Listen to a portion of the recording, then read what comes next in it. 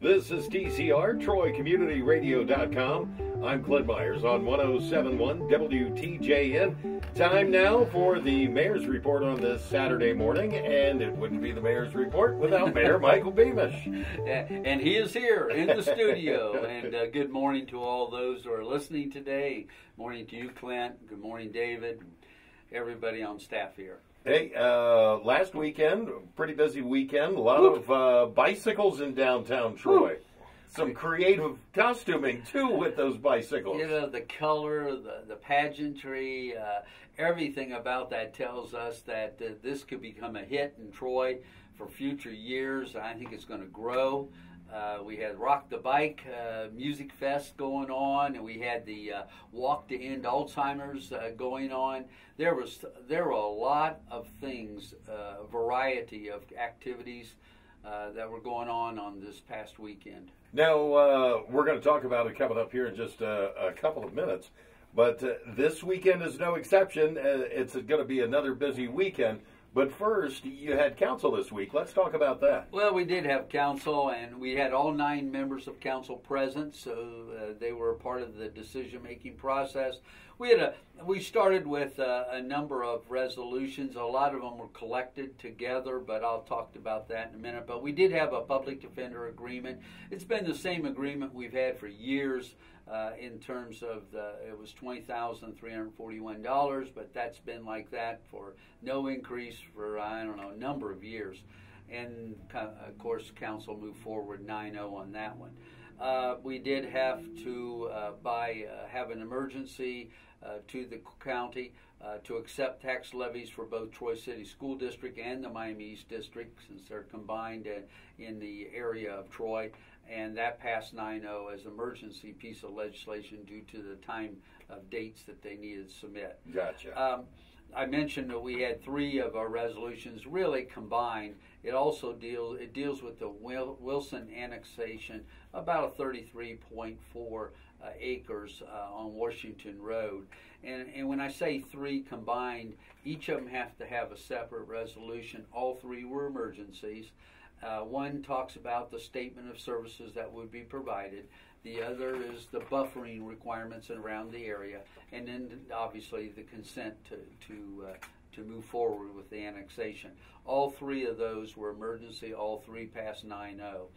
Um, we did have a report from the Assessment Equalization Board related to uh, sidewalk estimated assessments for the North Market Street Improvement Project and we have an equalization board. They listened and they submitted to council for approval and again uh, did a nice job. So uh, we thank them. These are three volunteers that come in that have some experience and listen and make sure the assessments are correct.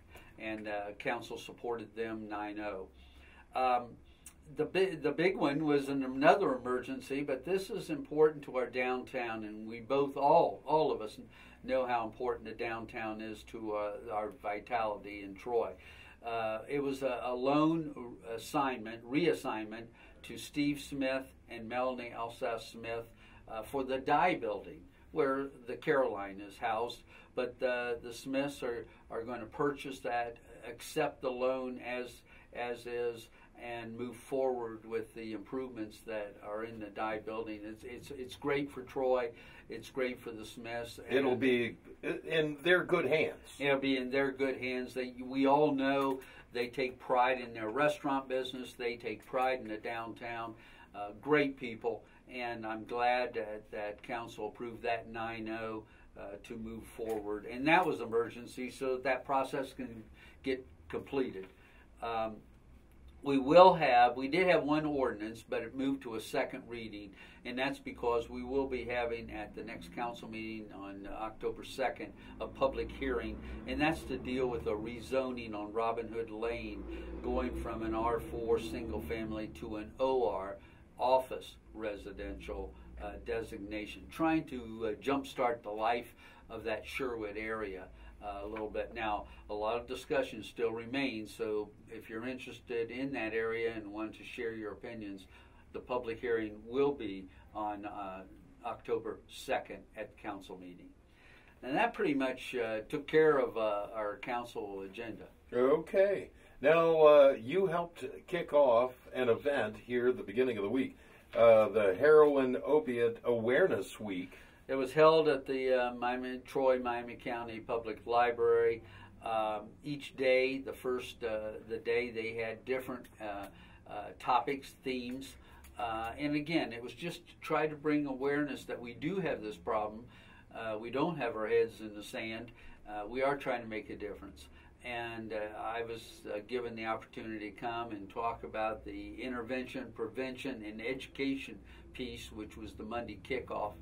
Uh, and it, it, it's just another way of uh, not only showing our community what we're trying to do, uh, not only in Troy, but throughout Miami County. We had law enforcement people from around the county there, and uh, it just lets people know we are aware there is a problem, and we are trying to do everything we can to make a dent in that epidemic.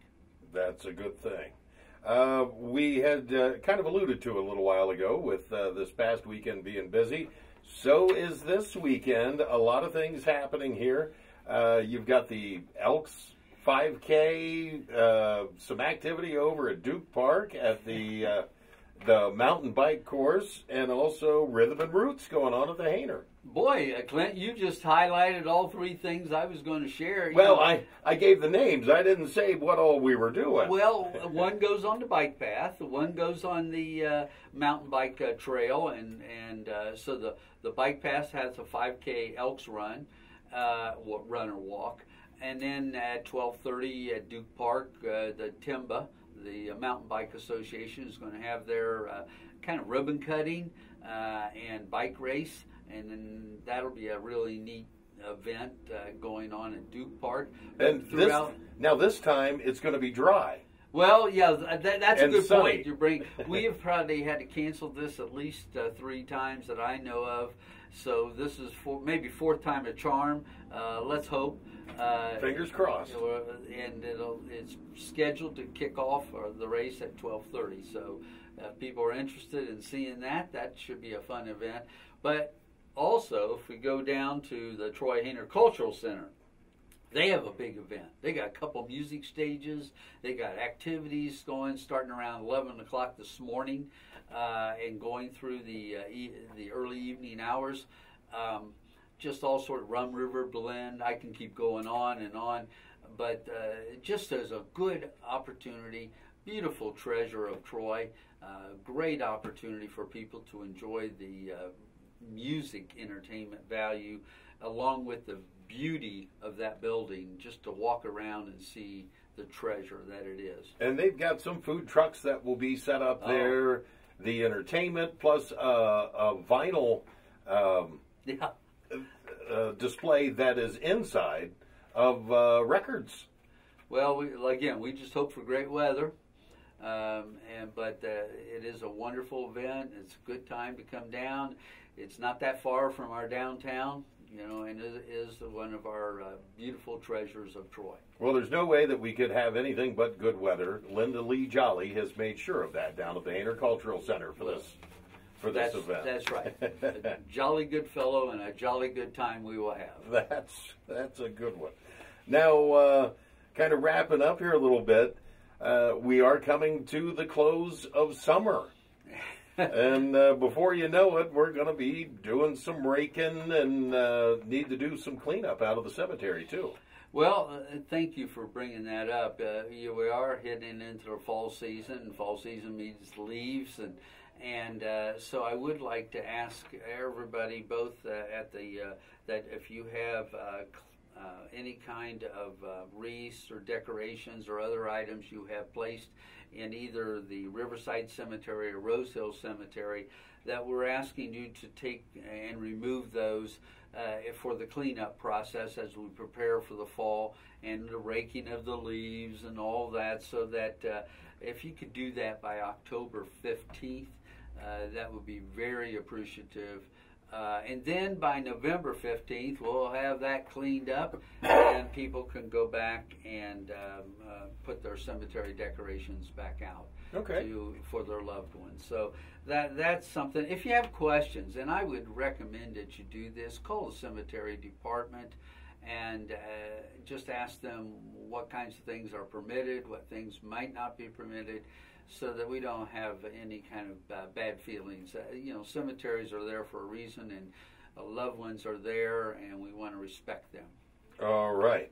Now on the leaf collection. now the uh, Road facility is going to be open later this year. Yeah, we're going to keep that open until December first, uh, December, December second, I believe. Um, so there's plenty of opportunities to take things out there uh, if you're a Troy resident, free of charge. Um, but we're also beginning that process, and I think down the road we'll have our street foreman Jerry Mullins come, and we'll do a live remote and show people how uh, the proper way of taking care of sticks and bundling and leaf collection and keeping it away from storms. So all those things we talk about every year, but it's a good reminder for all of us. But we're going to be starting. It doesn't seem possible, but we're going to start that whole process with round one on Monday, October 2nd. Wow. Uh, again, council meeting night, but also that's when uh, we're going to start at one end of the town and keep moving forward. So if the leaves start to fall, put them out. We'll pick them up and we'll do a, a number of rounds uh, throughout the city over a period of time. But uh, we'll we'll have another uh, opportunity to show people and talk about uh, proper care and and help the city workers in collection of those leaves. All right. Yeah, you, you look out the window now, and uh, the trees uh, still pretty green. They're starting to get that little twinge of yellow in them. That's so right. they are starting to turn. So Well, it, it, we do have to admit that we've finished the summer season. We're now into the fall season and heading towards that winter season. Well, you're saying winter, but we're still wearing shorts because it's Absolutely. it's warm out there. Hey, Mayor, thank you so much for It- stopping in it's this always a pleasure to be here and share. Thank you. This has been the Mayor's Report. I'm Clint Myers on 1071 WTJN.